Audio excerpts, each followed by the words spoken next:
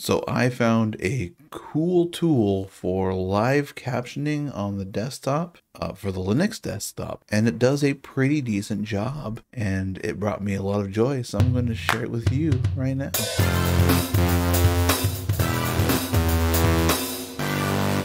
Every once in a while I'll make a video just because I found something that just kind of trips me out and I'm like, oh, this is cool. And I'm like, I should share this with other people. And this is exactly one of these tools. Captions. This is called live captions and it does kind of exactly what you expect it to do. You hit the little thing and next thing you know, it's recording what I'm saying and displaying it on the screen in a very easy to read and simple uh, fashion. It's a very minimalist application. It basically it's a it's a GTK4 application. It just kind of sits there and does that. You can use it for live streams, but you can also even put this on your screen um, if you're screen sharing over like Zoom calls or whatever, because it couldn't hurt that someone else can understand what you're saying a little bit better, you know? It's really simple. Let's go look in the settings here. I got some things tweaked from the default. I didn't like the default font, so I used the Ubuntu font. It could do all uppercase if you want, but then it looks like I'm yelling,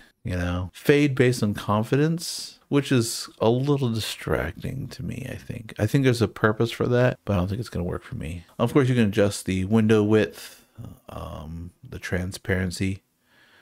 So if you don't want to be overbearing, you can have it save history. I'm not going to click on history because then you'll see all the horrible things I said before I started this recording. You can filter out slurs and profanity. That's completely optional. I'm past the 30 second mark, so I can say fuck and it'll show it.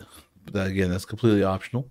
It's got it's got the ability to do that. Speed, higher is better. Yeah, that makes sense. You want to be able to have the text keep up with whatever you are saying. And of course, when you first launch it, there is a benchmarking program that makes sure that your computer has enough to do this effortlessly. I actually looked into it, but I assume it's using that same library that we've been using for converting your subtitles automatically in Caden Kdenlive. I'll have a link to that video down below. That was a fun video. So I grabbed my copy of captions from FlatHub. Eh, everything we've kind of gone through. Running requires somewhat decent CPU that can perform real-time captioning, especially if you want to be doing other tasks such as video decoding while running live captions. Yeah, that makes sense. So this is the development page, Linux desktop application that can provide live captioning. And the official way to install it apparently is uh, FlatHub. I guess this is a good place to start, other than, of course, the FlatHub page. You can check out the FlatHub page. Um, I'll have the FlatHub and the GitHub on the links down below. So this was a fun little program. I uh, I've just been playing with it for about 15 minutes before I actually made this video and I'm really impressed. It's one of those things that works exactly the way you think it should work when you think about what you want it to do. And it just does that and not much else. And that's that's perfect. If you like what I'm doing here, go ahead and give this video a thumbs up. If you really like me and you like what I'm doing, you can always subscribe and you can always help out by pitching in like these cool cats at my Patreon and Liberapay.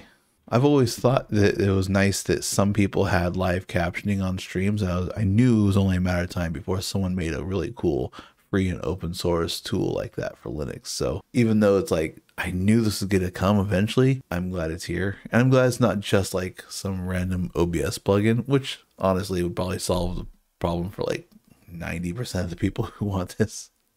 But it's still pretty cool.